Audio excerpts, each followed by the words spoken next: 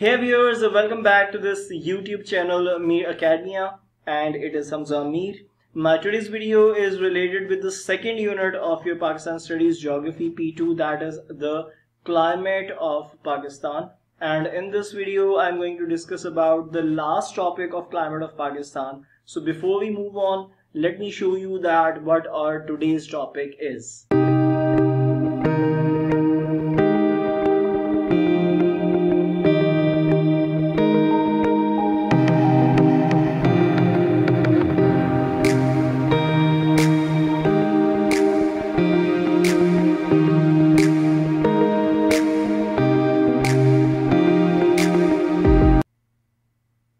Well viewers, here we have the topic right there on the screen that is droughts. Now before we move towards further points, let's first discuss the introduction of it or maybe the definition of the droughts that what droughts are all about. Now when we talk about droughts, now droughts is something which is a prolonged period of abnormal rainfall or low rainfall or maybe the shortage of water means there is no rainfall for a longer period of time which eventually create droughts. So i'm talking over here about two things. Number one abnormally low rainfall or maybe no rainfall for a longer period of time. That is the first thing. And the second thing that i'm talking about over here is the shortage of water because of certain reasons which eventually lead towards the droughts. Now uh, moving further we are going to discuss about the causes of droughts over here that why mainly they are created. Now as i said that it can be a low rainfall it can be a shortage of water. So these causes are interlinked with the natural factors as well as the human factors. So let's see the natural factors first of all. Number one factor we have over here is the unreliability of rainfall. Now when we talk about the rainfall there are three things that we exactly are not aware about.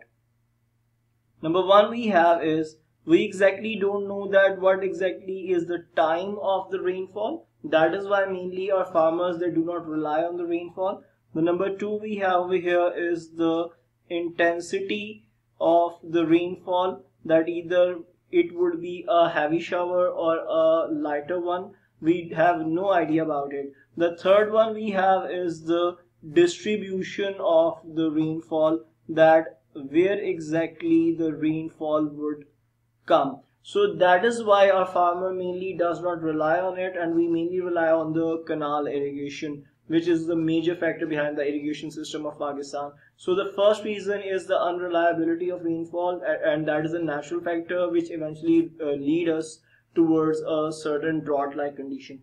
The second one we have here is the dry and hot winds. Now whenever we have dry hot winds, it eventually lead towards the less moisture. So when there would be a less moisture in the air, the amount of rainfall would be low. And eventually when there would be a lower rainfall, it would eventually create a drought-like condition.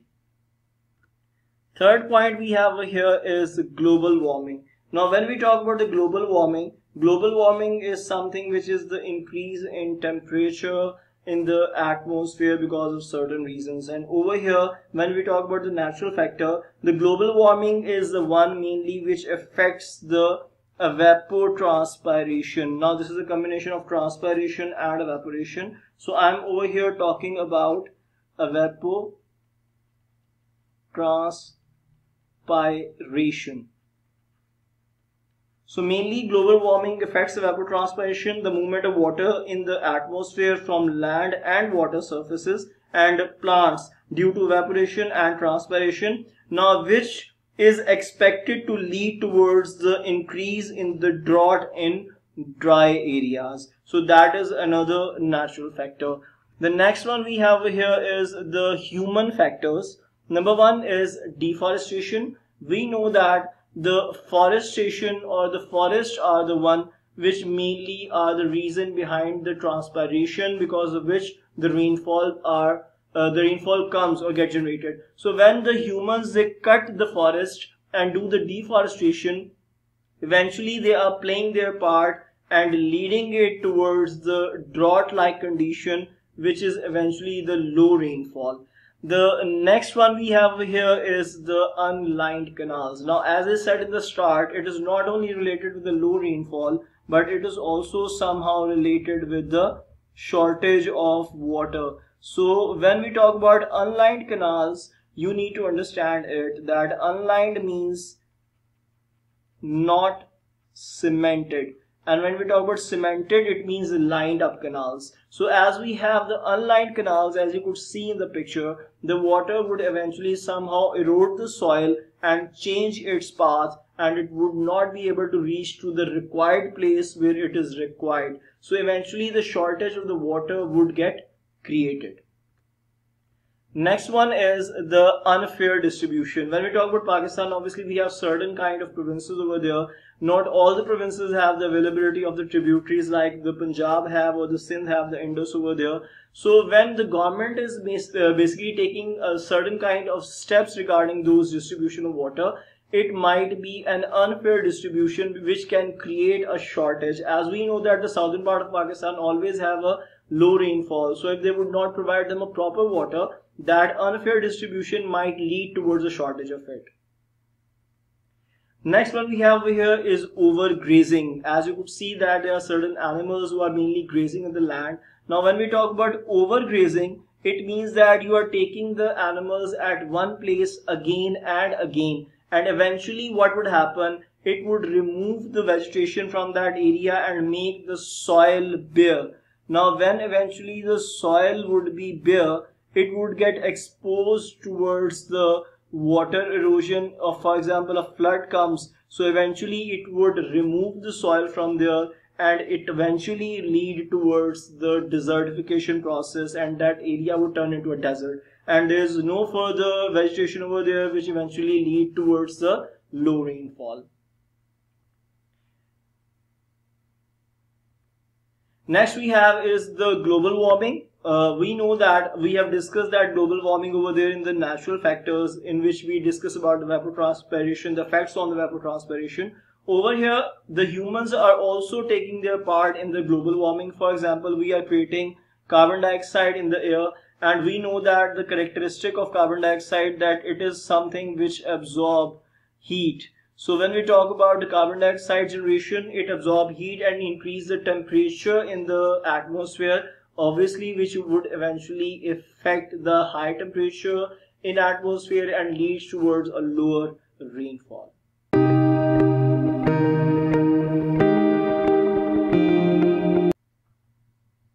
Now the next one we have over here are the effects of droughts. Now uh, mainly droughts have the two kind of effects. Number one we have is the effect of drought on the physical environment. And the second one we have of the human environment means that the effects of drought on the physical and human. So let's start from the very first one the physical environment. We have the first point over here as desertification. Now as i said before the drought is something which is the prolonged period of low rainfall or low rainfall for a longer period of time or the shortage of water. So eventually either it's a low rainfall or no rainfall for a longer period of time. One thing low rainfall and the second one the shortage of water. Both the things would definitely lead a process and reach it towards a desertification. The shortage of water that is the second point so when you have low rainfall no water to provide to the land area or a shortage of water because of any reason either a human factor or a natural factor eventually that land area would become a desert so that is the first thing. Second one we have over here is the drying up of rivers. Obviously just because of the drought, the water would not come means that there would be less rainfall. So just because of that's why the rivers would eventually dry up. That is a effect on the physical environment because water they uh, the river they required water through the rainfall as well. So when there would be no rainfall, less amount of water would be given. Next one we have is the drop in water table. We remember previously we discussed about the process of infiltration means the process of seepage of water when we had that land area and when the water comes because of any reason it mainly seeps underground and the underground water level rises. Now when there would be uh, when there would be no rainfall or a very low rainfall over there or a shortage of water, eventually the underground water would not be able to get the water filled up. So the underground water would reduce and there would be a drop in the water table. Next we have is the human environment, the effects of drought on the humans. How? The first one is the population.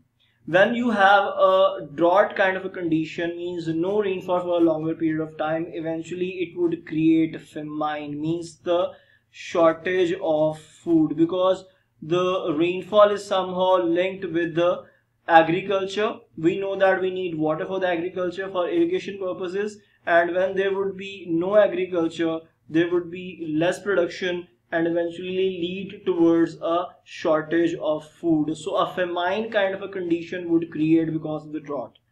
Next one is migration. Obviously when there would be a drought like condition at one place and there would be a shortage of food or resources just because of no rainfall you are unable to do the agriculture over there.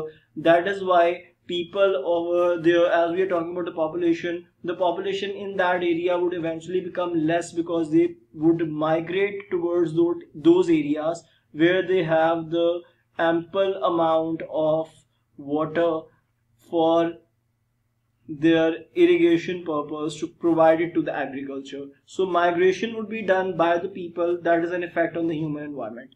Next we have is the malnutrition. This is also something which is related with the food means the health of the people, there would be a huge kind of a crisis that would be created and a process of malnutrition would start flourishing because of the no water and the shortage of food. The health of the people would be disturbed.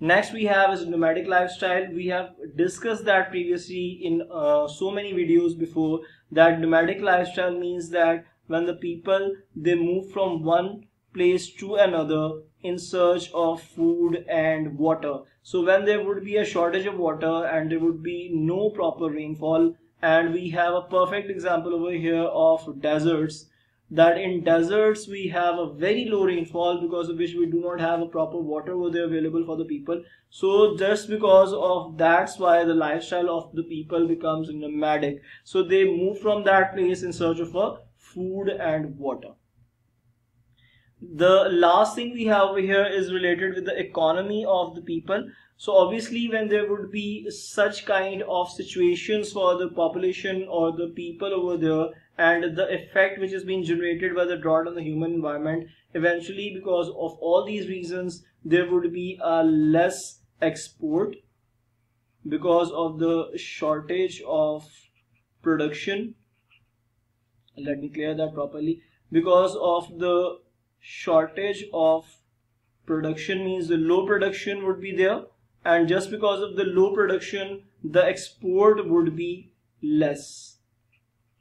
And eventually it would lead you towards a low economy means you would not be able to earn the foreign exchange. And eventually when you have a less export so you would have to increase your import.